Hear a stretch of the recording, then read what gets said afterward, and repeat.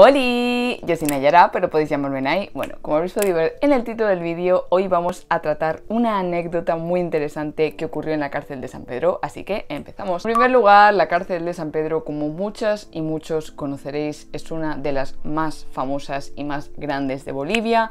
Para quien no lo sepáis, también es una de las más peligrosas, o eso se comenta. Y quien iba a decir en un momento de la historia que esta se convertiría en una de las principales atracciones turísticas que hubo en Bolivia durante muchos años.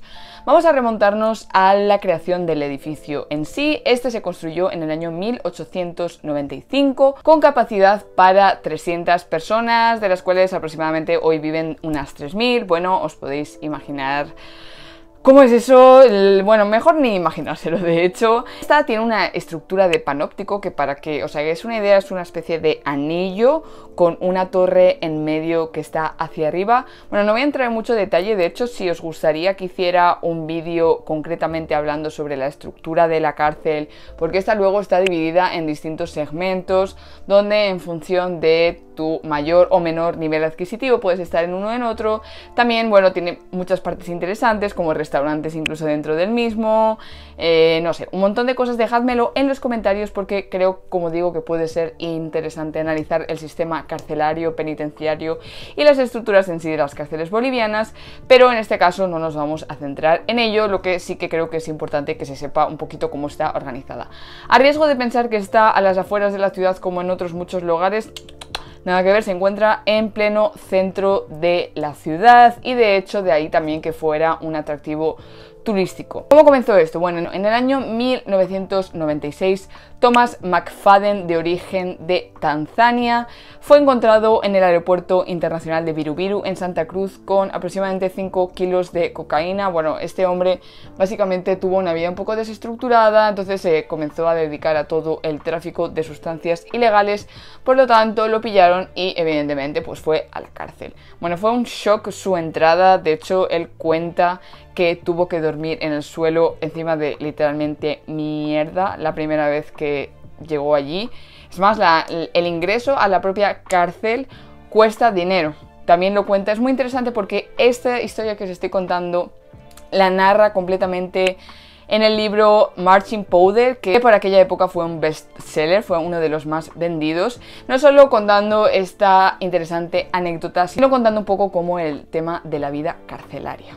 Bueno, hasta que este hombre se le ocurrió la brillante idea de, ¿por qué no?, hacer tours guiados, ¿no? Igual que se hacen en otros lugares, hagámoslo en la cárcel, eso sí, en inglés, pues porque evidentemente él era de habla inglesa. Bueno, jamás lo pensó, pero tuvo un éxito brutal. Se cuenta que se llegaban a realizar hasta 30 tours por día. De hecho, estuvo varios años realizándolos y bueno, hasta que al final, pues evidentemente se desató todo un lío de todo lo que había detrás porque eso estaba pactado con el gobernador de la cárcel, el cual recibía un porcentaje de dinero de las ganancias y al final fue todo un caos, es más, hubo tan enredo, es más, incluso comenta en su libro que incluso él mismo, entre otros, fabricaban cocaína, había una fábrica de cocaína que les daba de souvenir a los visitantes al final de su visita e incluso otros reos hacían como pequeños souvenirs, figuritas, regalitos para que comprasen al final de su visita. Bueno, como digo, esto terminó porque finalmente salieron casos de corrupción, salió todo este despelote que era y se revocó el derecho a visita a los reos, lo cual también fue un caos porque no solamente era el derecho a visita de estas personas extranjeras que visitaban la cárcel, sino el derecho a visita en general, ¿no? Y eso al final no se puede infringir.